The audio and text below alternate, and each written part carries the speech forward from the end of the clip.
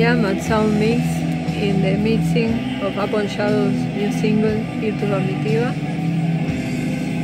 Now it's pretty much done.